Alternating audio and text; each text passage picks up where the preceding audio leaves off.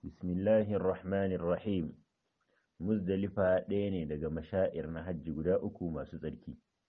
Muzdalifa ahadu mashairil hajji muqaddasa. Muzdalifa tana nan ne tsakanin Arfa da Mina, kuma alhazai mahajjata suna kwararowa zuwa gare ta bayan sun fito daga Arfa a daren goma na watan Zulhijja.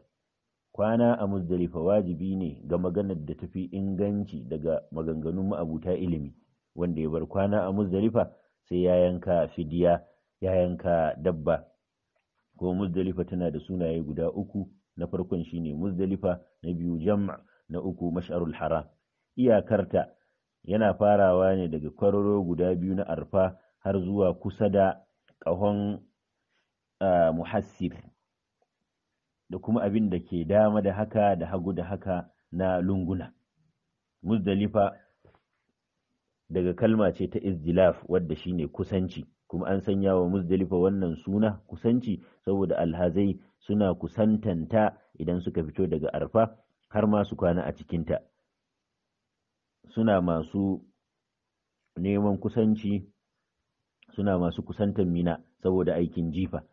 Kuma ana kiran muzdalifa da jam suna jam saboda mutane suna haɗuwa a cikinta.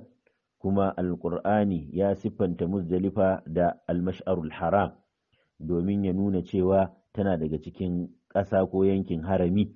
Sa'an nan kuma ya nuna cewa kwana a muzdalifa ɗin nan aiki ne daga cikin ayyukan da suke da alfarma suke da daraja. Allah ta'ala yana cewa kuma idan kuka kwararo daga arfa to sai ku ambaci Allah a mash'arul haram kuma ku ambace shi kamar yadda ya shiryatar da ku wanda gabanin haka kun kasance daga cikin batattu.